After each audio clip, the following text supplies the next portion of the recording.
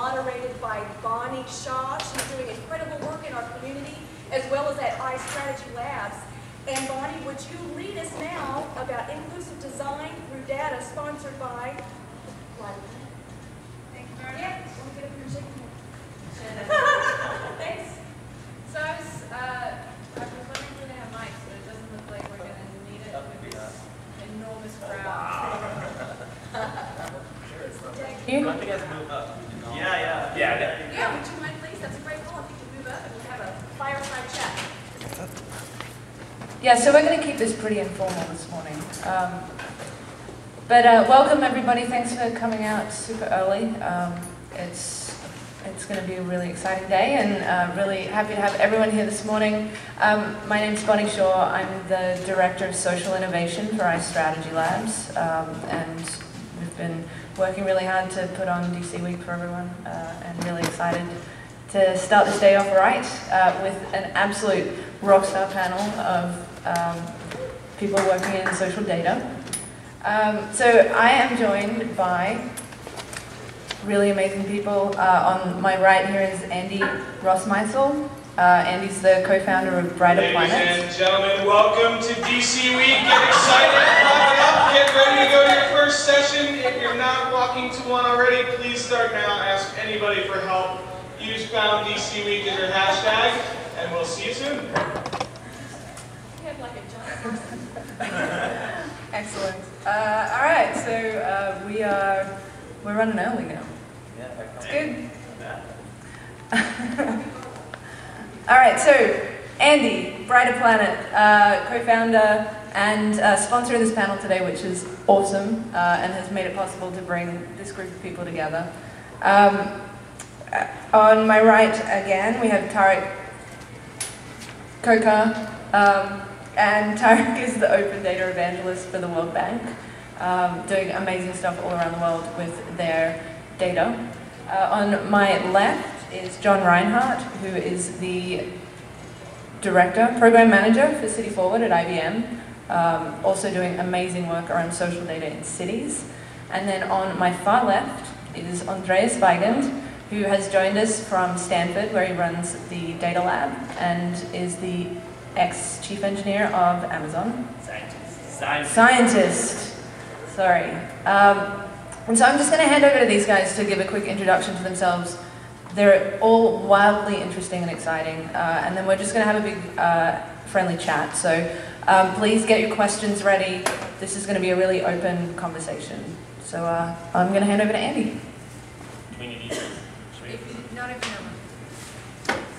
I can forget. Um, so yeah, I'm uh, Andy Rossmeissl, uh, one of the founders of Brighter Planet, and we um, we look at a really big issue, or like a big to little I guess, um, a really big issue, which is climate change, and we provide basically an API for doing real-time environmental impact quantification. So we're trying to enable a new generation of applications from developers who may not be scientists, but who want to work environmental science into their applications. Um, and the title of this panel is Inclusive Design, and uh, really just interested in discussing with my panelists here um, how, uh, you know, the availability and, and amount of data these days is going to empower individuals to act on climate change in a way that previously only big corporations and governments could afford that data, uh, both with money and time, could, could do. And so that's what I'm looking forward to. Hello, um, I'm Tariq Khokhar. Ordinarily I can project, but I had a bit of a late night, so I'm not going to, I'm not going to try. Um, so I'm, I'm with the World Bank, and we kind of say we're open in three ways. We're open about what we know, so our uh, development economic data, stuff like GDP and population of countries, we're open about that. Uh, we're open about what we do, so our operations, where we put money, where we support yeah, kind of initiatives, and then we're um, we're now supporting other people to be open. So uh, other countries, governments, and institutions, they kind of come to us as a how do you do it? We'll give you a hand doing it. Uh, and I suppose the questions on my mind are in the public sector and in the development sector where I work. There's sort of three questions that we want to ask of data are one, what's the problem? Uh, two, what's the response to the problem? And three, what's the performance of the response? So once you've got information on those three, uh, big areas, uh, and it gets pretty complicated in international development. You can start doing interesting things. So I'd like to see how the interesting things we do connect with the interesting things these guys do. Excellent. And you may notice a common theme here in addition to the data, which is uh, pink. And uh, everyone, everyone on the panel um, has turned up wearing something. It's up to you to work out what they are. Good morning, everybody. Uh, my name is John Reinhardt, and I'm an urban planner and urban designer by training. And I'm really interested in the ways that um, data and the proliferation of data really impact the design of cities. Um, and so um, IBM is now looking at, uh, hired the first urban planner, which is really a, an interesting step for IBM, looking at the ways that um, organizations like Andy's or Tariq's are really pushing um, citizens to change the profession of planning. So there's a sense right now um, that you know individual empowerment and uh, all this tech and data is really changing where the planning profession is going. So that, that's really an interesting question for me, as well as data literacy. Um, how do we uh, inform people how to manipulate, use, and understand data? Because that's going to be just as important as um, regular literacy, I think, as we move forward towards 2020, which is a good point to pass off to you, Andreas. Thank you. Good morning, my name is Andreas Weigend, and two days ago I spoke in New York at the United Nations for the first World Social Data Day. And we now actually have predictions which release one prediction a month at, at Predictions 2020.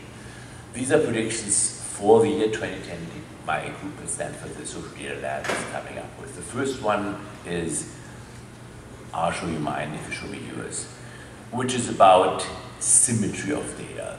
That when we design things, it used to be that companies, governments, that design for data asymmetry, used car dealers, uh, used to be the ones who actually catch the higher profit margins. And our prediction is that in 2020 it will be those who design for data symmetry.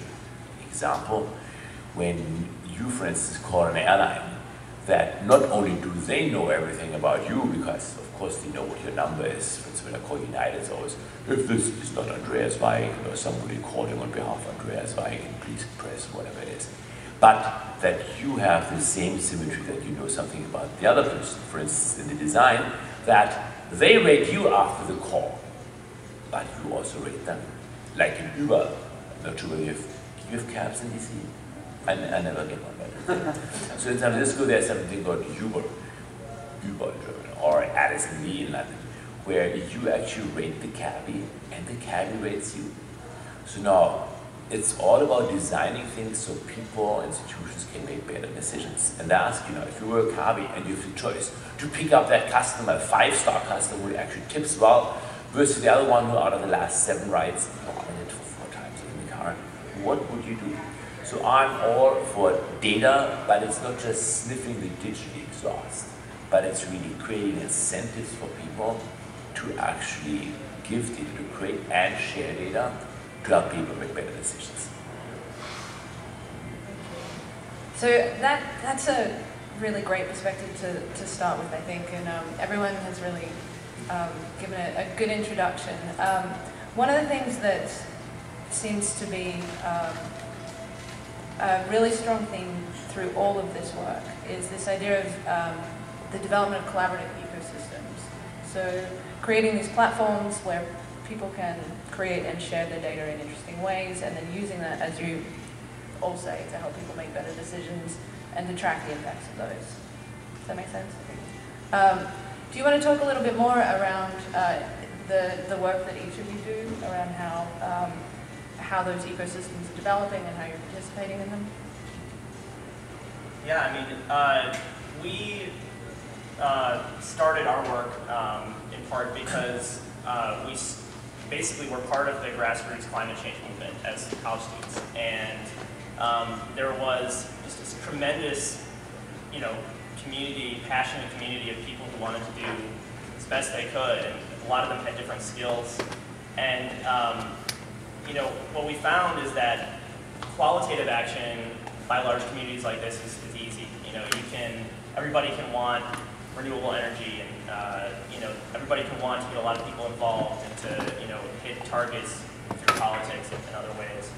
Um, but uh, we, it was really hard to get any quantitative work done. Uh, and the reason for that is because uh, climate science is pretty complicated stuff. Uh, and we were just kind of disappointed with the idea that in order to start to take sustainability to a quantitative level, that everybody who wanted to get involved would have to become a scientist. Um, wasn't feasible.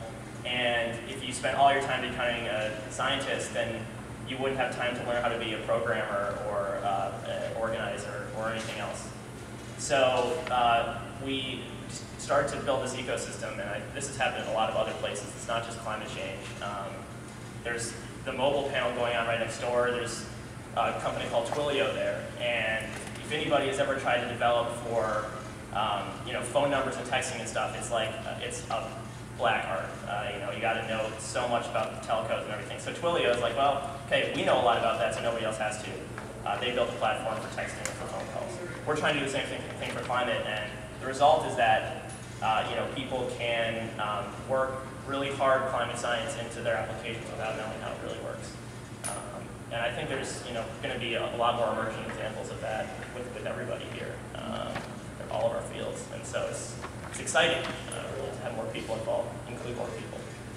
Uh, do you actually think that, uh, for instance, making a decision on a flight, and you knew the carbon footprint of that flight was another one, uh, do you actually think that there's evidence that people would make a different decision if they knew, and for the moment let's assume the price is identical, mm -hmm. if they knew that there was a difference, or do you think that know, people just talk about it when it comes to it, then hey, if it's, you know, if I get frequent flyer points in the airline, I can walk for forget about the carbon.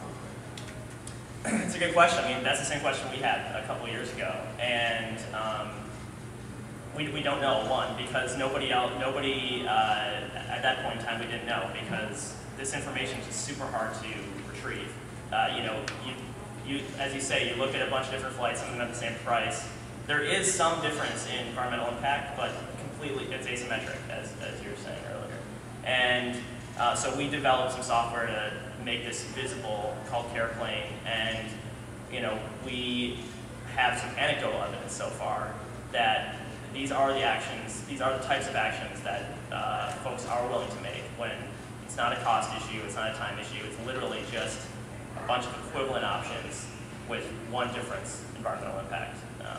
But we're excited to see, you know, as this information becomes more visible and more available, we're excited to see if providing information does actually lead to a behavior change. And the other question I had in that one is, do you think that how you visualize the information, how you actually explain to people what the difference is, whether you take, in this case, that flight versus the other flight. I mean, nobody really has a of how Do you think a lot about what you do with the data in order to how you make it clear to people what the effect really is as opposed to number? Right.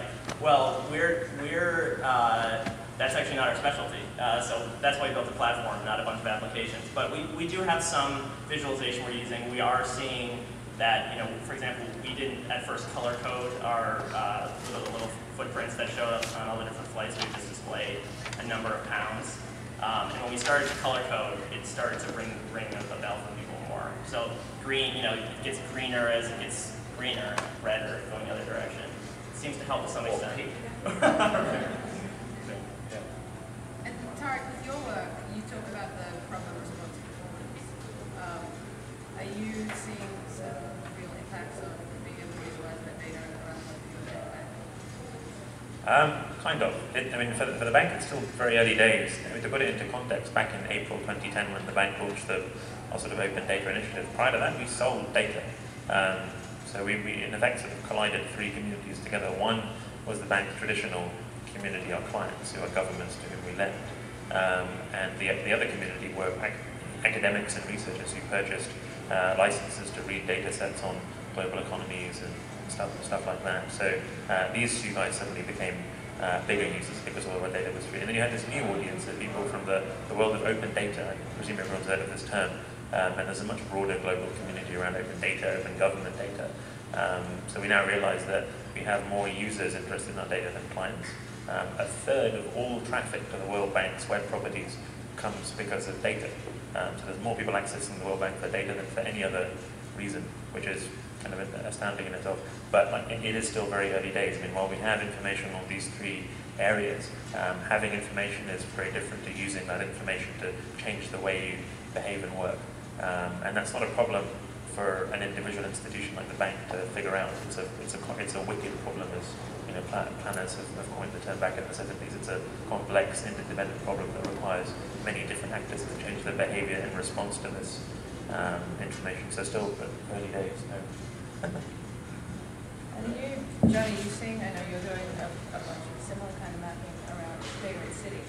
Sure. Um, you know, I think the City Forward platform and also the, the entire IBM Smarter Cities uh, campaign is a recognition that the city is, is kind of the structuring um, place as we move forward. You know, we know 50% of the world's urbanized, 7 billion people. By 2050, 90, you know, 90% of the world will be urbanized. So we're looking at ways to um, get people involved in that process of, um, of building cities and, and, building smarter cities. So, um, for example, uh, the City Forward platform allows you to uh, visualize data. There's a recognition that um, you know smarter cities and, and this could be a very technocratic planning process, but I think this time is different. There's also recognition that you need the social input, you need the input of people, you need the input of designers. And so um, the platform that I'm working with lets individuals connect with each other, lets organizations connect with each other um, through social media. You can share your explorations, you can share things. Um, so there's this, this recognition that it's not just about the, what the data says, it's also about the input that people bring to it and the input that designers bring to it. So Andres, you started to talk about the data exhaust. Do you want to, is that a term that people are familiar with here? you want to give a little background on that and kind of talk about, you said you're really sharing your personal data and how that, how that happens with the exhaust? So we use the term digital exhaust, data exhaust, for the traces people live, people leave wherever they go. For instance, you know, your mobile phone is a wonderful example that is actually a proxy for you. And with geolocation, it actually is even for me, who has put his schedule up on weigend.com since 94. It even scary for me when looked at Google Latitude and realized that they backed out every single flight I took the last few months because you know there are not that many planes leaving from say Rio to London. So that's actually interesting. But what I want to do first was respond to what he said, if you don't mind. Um, so, um, one of the great things about cities is that geolocation is very natural to them. And the story when I teach is the story of John Snow with cholera, the, cholera, uh, the, the disease in London, where he, 150 years ago, plotted out on a map of the city where people lived that passed away, dying of cholera. And then he managed to trace it back to the Broad Street pump, one specific pump which was infected. Now I ask you, what would have happened with that insight if he had posted a sign there, please do not drink the water? The answer is nothing. So the only way he made an impact was to take off the handle, the pump handle, that pump handle. So my question is always that when people talk about insights, what is the action you're taking? And if there is no action, you might as well just forget about it. So I think many of those insights which we talk about here, if they don't move into action, we already talked about the taxi problem here in DC, uh, then I think we are just not going far enough. What I really would like to talk about is what many companies, many governmental organizations, I said I was just a few internets ago, um, move in the front as these are technological problems, are actually not technological problems anymore. They're societal problems or societal decisions we need to make. So I invite all of you that when the next time somebody comes, whether it's a company, whether it's an NGO, whether it's a government, whatever, and tell you that something is difficult, to really drill down and understand why they think it's difficult and whether that reason they give really is the reason. Example is, I'm a big fan of coming up with good metrics, and I think companies are super well advised to deeply think through the equations of their business. Because when they do that, they realize that in often many cases, terms that they still worship have disappeared. And other terms that they thought are not important have now become important terms, such as the cost of interrupt. If somebody interrupts you, it used to be super cheap compared to the cost they had to pay to get the interrupt out. But by now, the cost of interrupt often is higher than the cost of causing interrupt. So that's relatively abstract. What I want to say is, let's think about what measurements we have and how we put those together into equations which we optimize in order to change behavior. That applies to cities, carbon, pretty much to our lives. Just to respond to that, I think, um, you know, from my experience looking at cities, they're no longer looking at just the insights for insight's sake. There's pressures that are being applied to cities, such as financial pressures. So they want these insights so that they can um, better use their limited resources. As, as the cities are getting squeezed, it's, uh, you know, for example, I did some work in Syracuse, and they were looking at, they said we have X amount of dollars, which is much less than we had before. How can we use data and insight to better um, work with our citizens to better apply that data, uh, better apply that those resources? So I think it's just not insight for insight's sake anymore. It's there's other factors. Let me give you an example. Parking. Since we're done with the taxis now. Parking.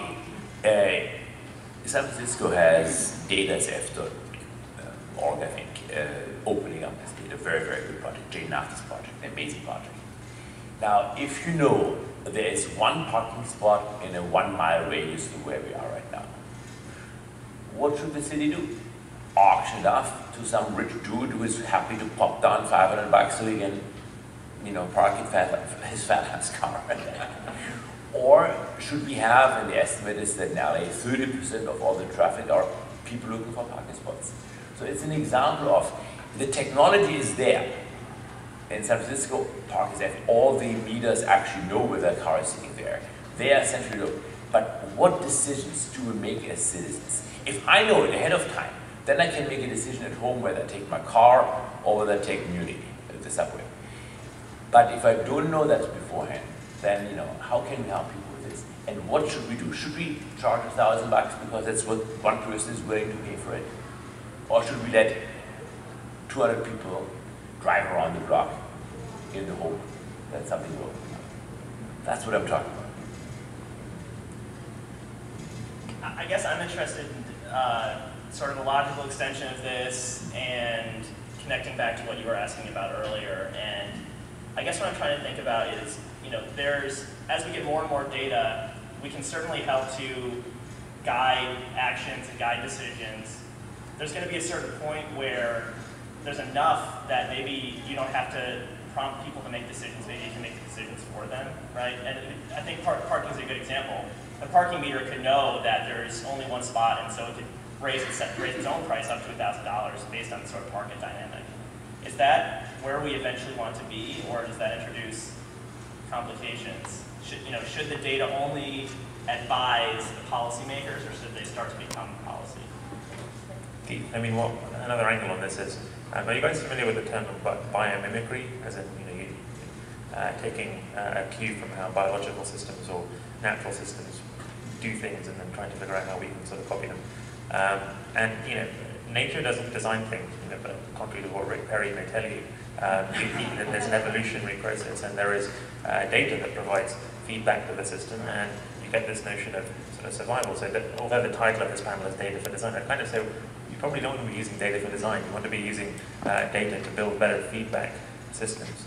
Um, and the best feedback systems are the ones that you don't even know are there. Um, they're just happening automatically. My, my favorite one is, you know, computer backups. Who the hell backs up their computer? No one, right? If it happens by itself, then it's going to happen. So investing in systems that automatically uh, cause feedback that change the system is where you want to be rather than uh, coming up with dashboards and things that policymakers can use to make decisions. Screw that.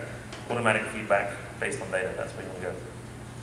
One one example that, sorry, do you mind if I jump in? Another example that in climate, to bring it back to climate, you guys heard this new thermostat called Nest?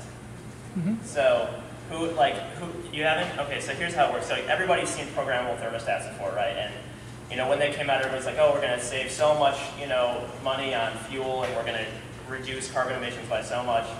But my parents have had a programmable thermostat for, I don't know, 15 years, and they literally have never programmed it once. It's, it's been on manual mode this whole time, right? I mean, that's pretty much what happens for a lot of people. But we, some folks, I forget, somebody started Twitter or something, or somebody remember? Um, I'm sorry? Former Apple. Oh, that's right, Apple guy. He said, well, okay, why don't we take this behavior that we see, which everybody just changes the thermostat manually, and start to learn from it. Um, and so I think that's another example of, you know, so now this thermostat will, if you change it, you know, if you change it down every day at 7 a.m., and then you stop a couple weeks later, it'll, it'll just do it for you. Um, and I think that's sort of a good example of where we can head and like where we can start to actually make the decision, take things out of dashboards and administrative interfaces and just make it natural. Those systems by their nature though are designed, right? They, there are people making decisions about how humans will interact with them and uh, they'll respond to the data that they're programmed with. But there is an element of design that, that is work in there. Yes. Um, and so the challenge there is understanding how the, uh, how you would respond to the performance. Yes, I mean, we're going back to those three things of you know, what, what's the problem, what's the uh, response of what's the performance of the response. We shouldn't try to be tackling those individual things. We should be trying to tackle the system in which those things operate, and that's the sort of design challenge. And for uh, for public sector and international development, the, the, the hard problem is making institutions work differently rather than um, getting better data and feedback to individual elements of that uh, of that chain, which is why it's very hard. So ordinarily, when you have conversations about uh, data and policies for information, people are operating at the level of we need data to make decisions, whereas the people who are um, actually in a place to change the way institutions and governments work are not having these conversations, which is um, remarkably sort of frustrating. But I, I don't know what the right um, how that's fixed. I mean, the, the old adage in academia is that um, you know, uh, ideas only only evolve when the last person who had the last big idea dies, right? So maybe we're just waiting for this current generation of government to, snuff it until, until and then other people come along. But maybe there's a there's a smarter way of thinking. So Tariq, uh, you said that people in those institutions like the World Bank don't have those conversations. It is like the Heideggerian hammer, which you are not aware that it's made of two parts. And you just use it perfectly actually until it breaks. Are they already beyond that stage? Is it just deeply ingrained in the way people live their lives at the World Bank? Or are they not even yet having conversations because they haven't thought about it? Uh, I mean, certainly in, in institutions of international development, those conversations are happening. Um, I mean, at the end of November, there's a thing called the, the High Level Forum on Aid Effectiveness in, in, uh, in Korea. And the idea is that you're trying to discuss some of these problems. How do you make the aid sector work better? And some of these decisions are kind of being taken there, but it's still at the very um, high sort of abstract level. And it, it- the ideas are starting to come in, but they're, they're nowhere near the level I think they need to be yet. Can I ask a question? What do people here think is the bottleneck towards actually using data? Is it that the data isn't available, it is early, that the data is for political reasons, no, you know, I'm not showing you mine because you're not showing me yours. Is it that people don't understand how to analyze stuff? Is it that people are worried that the data might be showing bad stuff? What is the reason that if anybody is not happy with the organization people not using data to the extent they should? What do you think?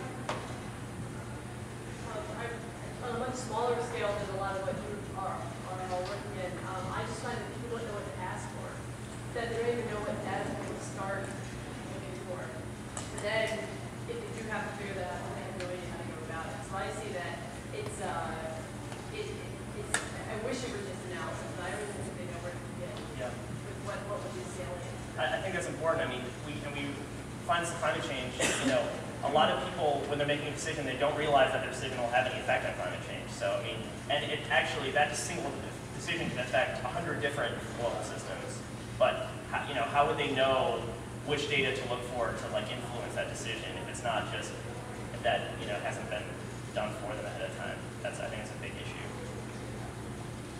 Yeah, I, mean, for me, I'd say to some extent it's asking, you know, it's this question of asking what data you need, but really it's a question of data not being in the right places, uh, or being, you know, being trapped in, in, in very closed formats. So uh, I think if people, if data is just made available and, and made more contextual, so, you know, the example Andy gave of, you know, when you're choosing a flight, you know the environmental impact, or, uh, you know, parking meters, know, as smart as, smarter, smarter than you are about where there's available parking. Uh, just making uh, data a bit more contextual to places where we make decisions. I've seen within large organizations, people afraid that the data is going to decrease their freedom when it comes out and their share of the pie. Or their freedom, you say, or the power. To, to make decisions, the, the data is going to force decisions in a way that they will lose their power to make a decision and will lose their share of the pie, whether it's power, salary, Or the pressure privacy. That's a thing which started with cities and ended with Facebook.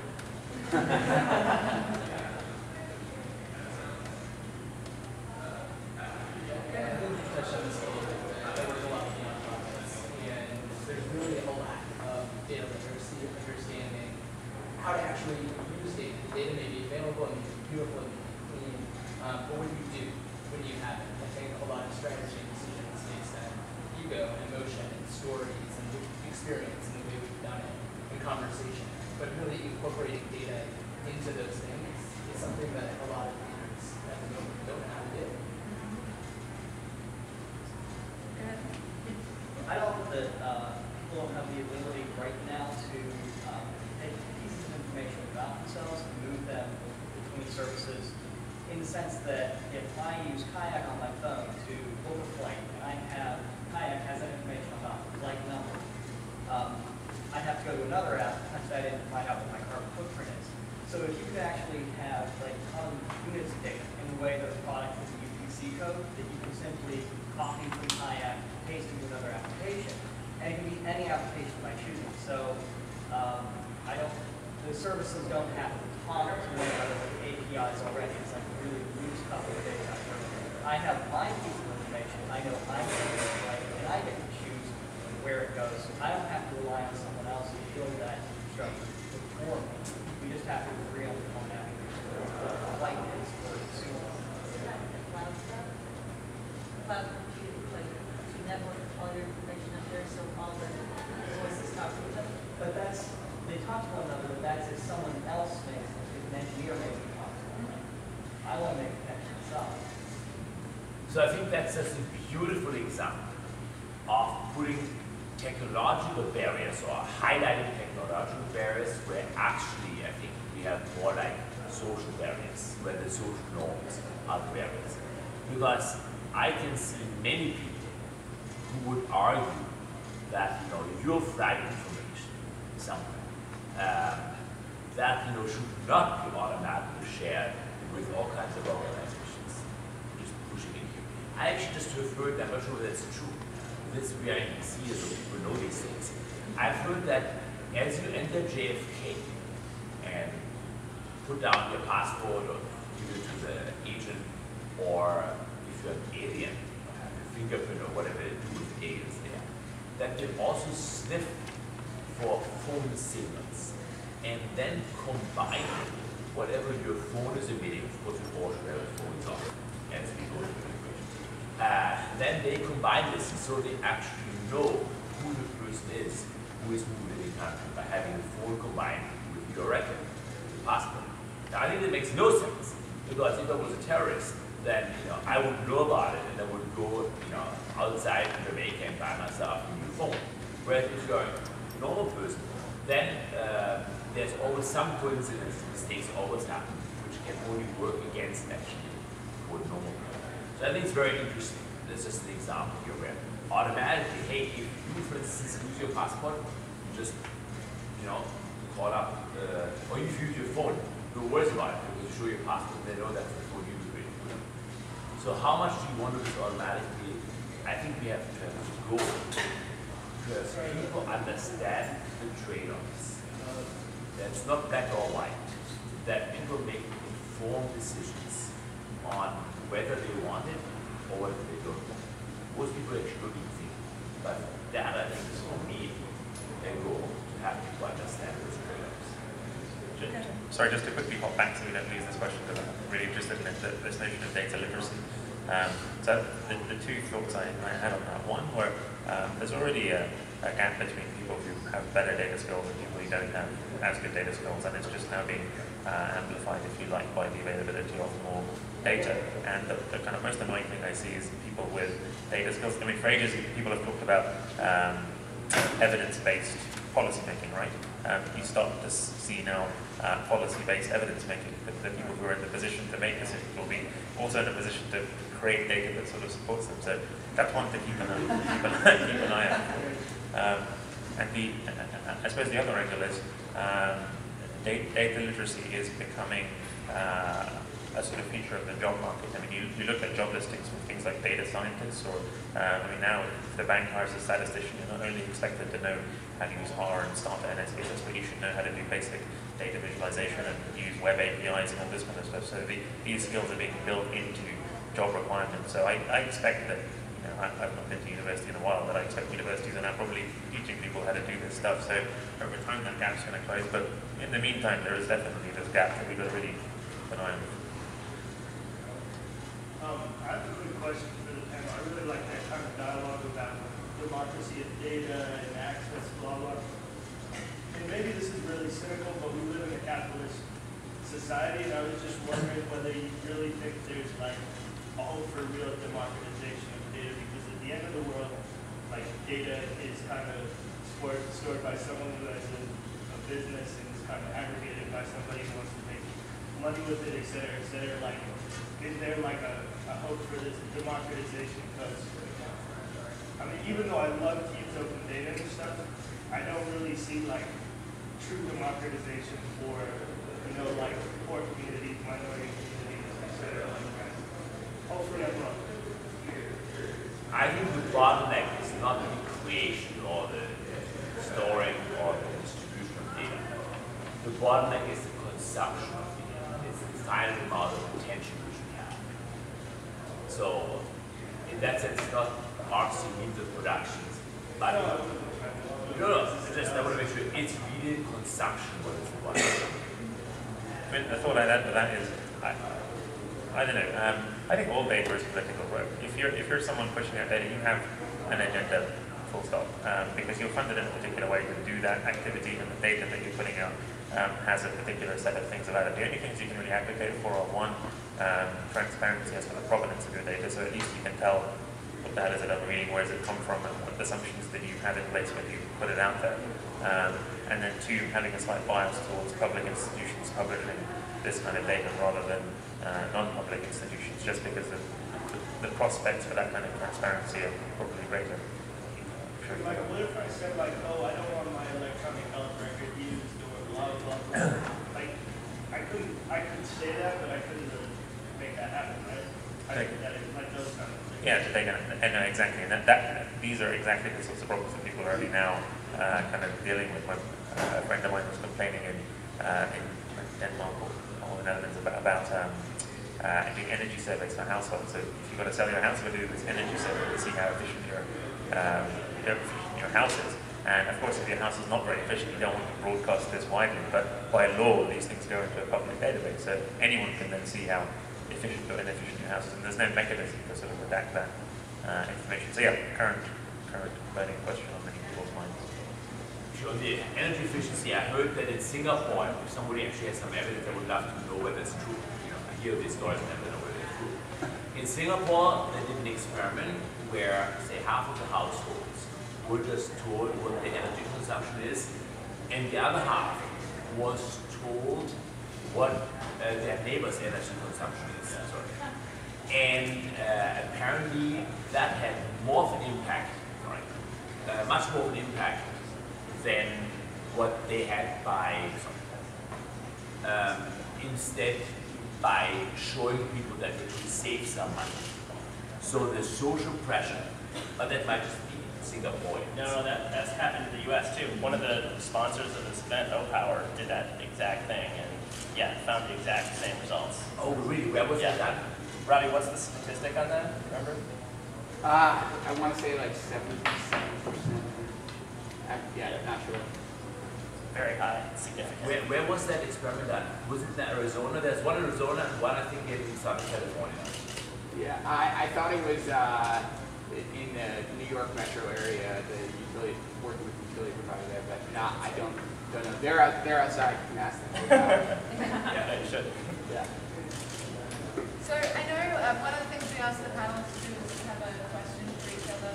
Um, do we want to jump in? We got hands up the back. Questions? But did you have, yeah, there you go. Go ahead. I I like what you say refers a lot, I think, to metadata in terms of who is it Can you that's. speak up a little? Um, I'm referring to the technological barrier. I wonder about metadata. Who is it who's actually collecting and filtering that data? It's through their eyes that we're seeing a visualization or different aspects of the data. I just want to see the raw data itself and how will that impact how people make decisions. I, mean, I, I, I worry about metadata almost every single day.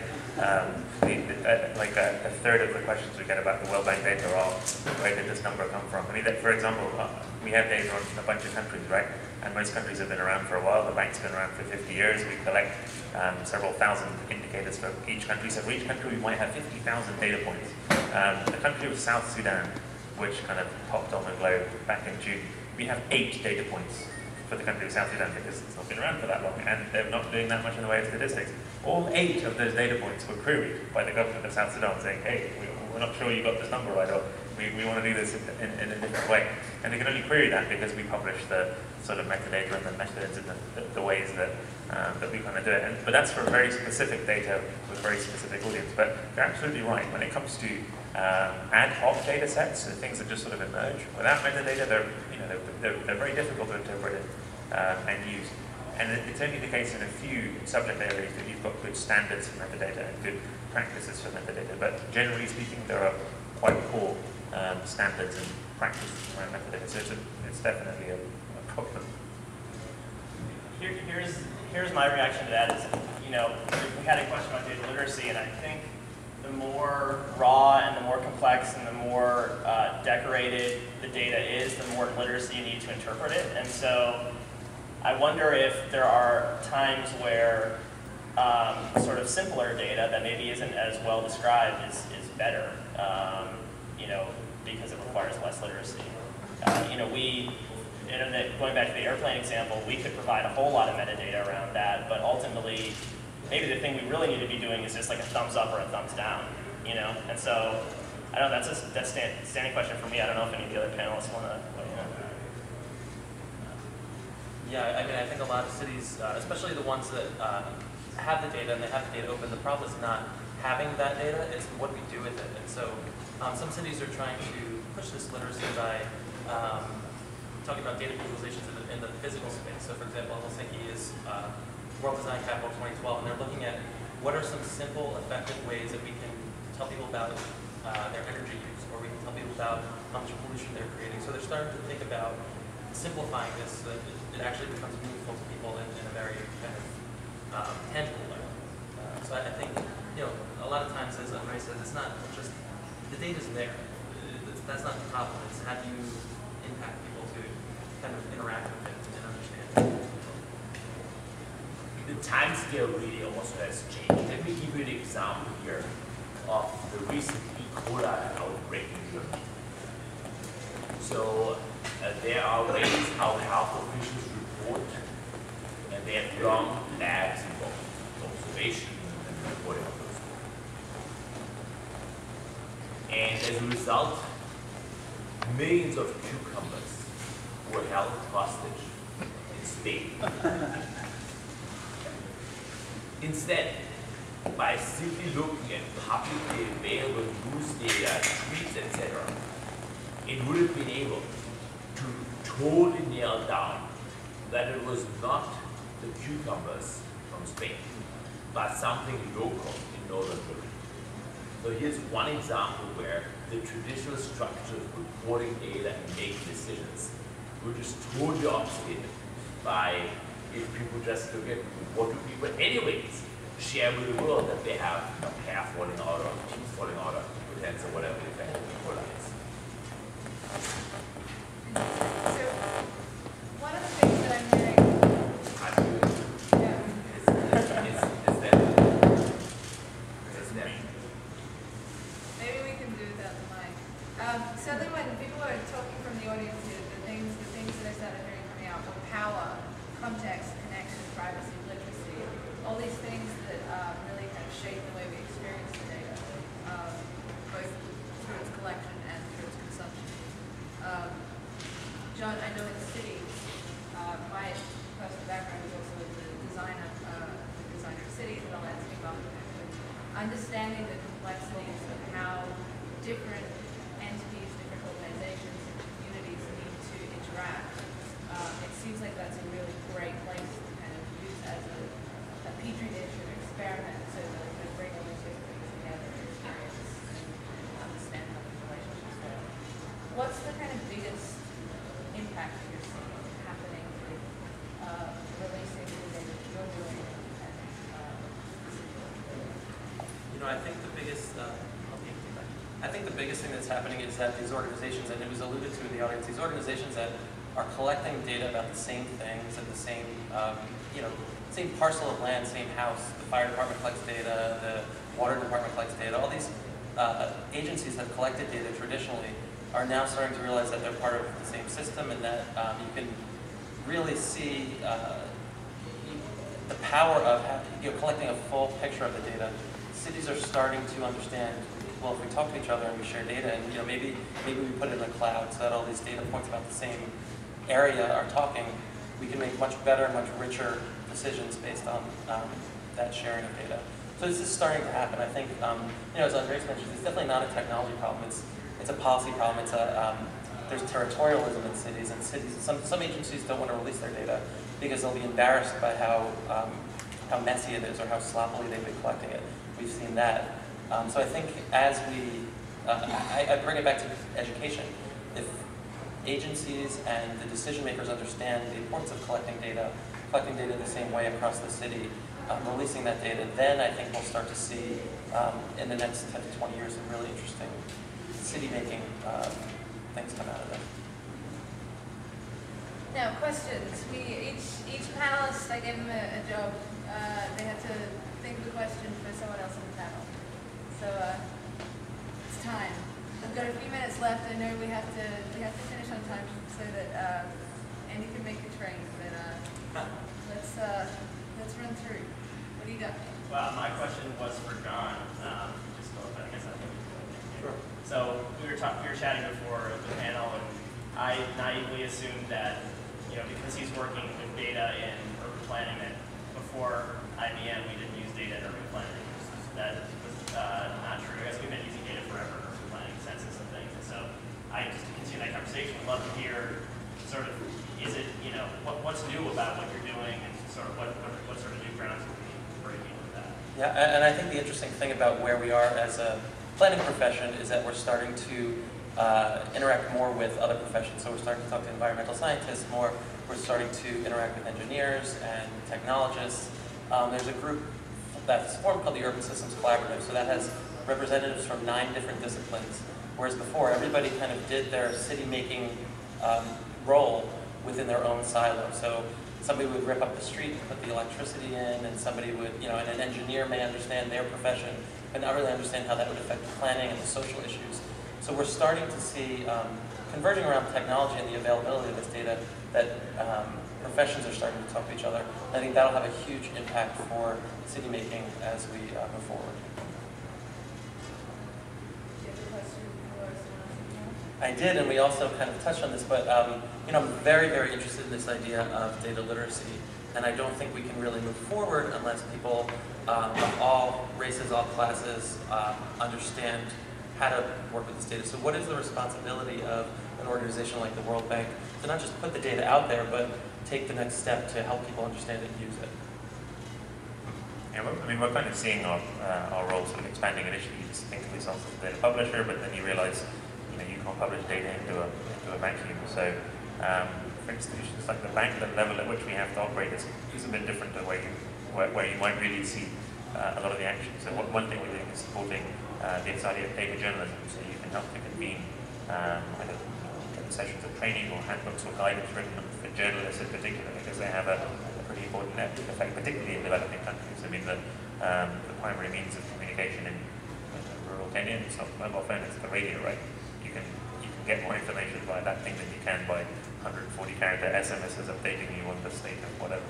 Um, so uh, having that connection is, is sort of important. But I, I'm also kind of conscious that the inverted commas market will sort of sort this out um, in, in, a bit of time. So that's my, my take on that. And my, my question was, was for you, which was um, particularly on, on the subject of climate stuff, but also more generally, um, when people talk about using data to drive individual actions, for example, climate responsible decisions, everyone talks about uh, if everyone makes a small change, then the net result will be a big change, right? In reality, no. If you do the math, if everyone does a small change, the net result is a small change on a larger scale.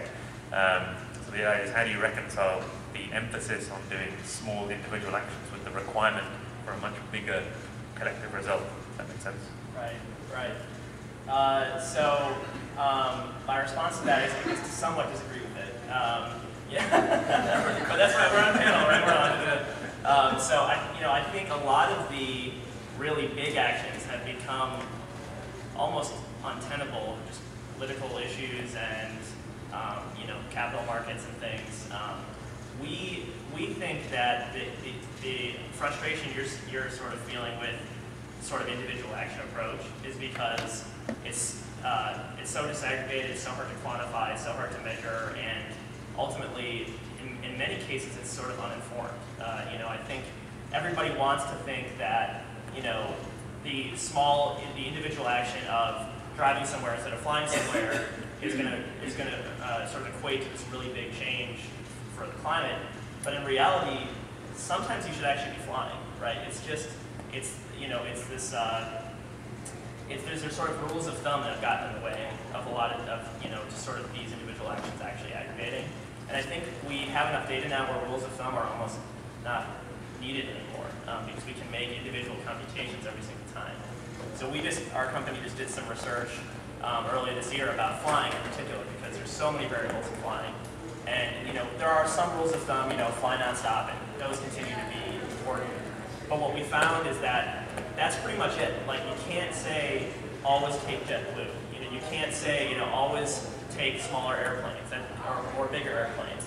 That you literally, you know, in order to make these decisions properly, in order for your individual action to actually matter, um, you actually have to you have to be way better informed. Um, there's no rules of thumb, uh, and so I think that's really what's been getting in the way. And I think now we have the software and data to actually overcome that that challenge because. Uh, you know, we all want to be included in this process, right? I mean, individual action should matter. We have to figure out ways to make it matter. That's our, that's our job. It also seems to me that those small actions might be the area of consideration, thoughtfulness, conversation that they haven't been in before, and that might then lead to political decision, so it should lead to a larger action. Yes.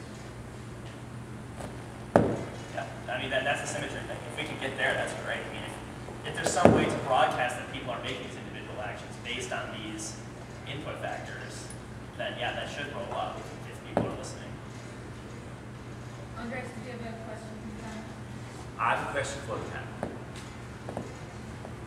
Where do you think you were totally wrong is something which you have said a year, two years ago about social media, where just reality has been very different from what we thought. I started giving you one example I really thought that pseudonyms was the way to go. And then as we read the interview I gave like four or five years ago, and I couldn't believe just how wrong I was. Because it's all real names. So I would be curious where you might have had a similar experience that you were convinced about something and the world just went in a different direction. Yeah, I mean, I would say, I wouldn't think that agencies would begin to open up their data and start talking to each other as quickly as they are. Um, agencies are seeing some prime examples of cities like New York, Helsinki, and they, they want to be in those cities. So I, it really surprises me how quickly mayors and citizens and, um, you know, nonprofit organizations have globbed onto this idea that data is good, open data is good. Um, I don't know if we necessarily know what to do with it yet, and that's the next challenge, but it seems to be, that's taken off much quicker than I would expect. Okay. So um, we'll go through and we'll, we'll do it up to the end, or that's a wrap up. Uh, I, I guess um, my biggest being wrong thing was around um, sort of institutions' appetite for optimizing data delivery. So I, I mean, I, I reckon that um, five or six years ago, people would be optimizing everything for um, you know mobiles and low bandwidth type stuff, just because we have lower bandwidth on these small devices and, and whatnot. In reality, um, the rate at which bandwidth has grown versus the rate at which the weight of content has grown is they're, they're not commensurate. You've got huge content um, still trying to be delivered to small devices. So that was my error. I just assumed that people would figure out that you need to make your content more consumable. But no, that's not that's not happening. Um, I guess uh, back in the dark ages of Brighter Planet, we sort of thought that the key, the key thing we can do for individuals is to uh, provide so much data about their carbon footprint, and that you know, if only they would know their impact, they would they would totally change it. And this is, you know, sitting up at this panel now, obviously in retrospect, that's ridiculous, right? It's you know, that's just data for data's sake, and you know, what are you going to do with that? And you know, we've learned that it's more about you know informing individual decisions, um, and you know, who, who cares really what the what the total footprint is at this point. All right, so for the final question for the group, um, we got just have a couple minutes left. Following on from that question, I'm going to give you the chance to make a big bold statement that you can be proven wrong with next year. Andre, you giving stuff up? The three ingredients for building killer products are one, the product helps people make better decisions. Two, the product helps people connect to each other. And three, the product makes it trivially easy for people to partner. It makes it trivially easy for people to contribute. For instance, you know, you have a feature phone, you can text whatever you want to contribute in terms of data or whatever it is to that product. So it's helping people connect is a very important one. Helping people make better decisions, better defined for them, not for your organization or the company, and three, making it trivially easy for people to actually contribute. Sort of design.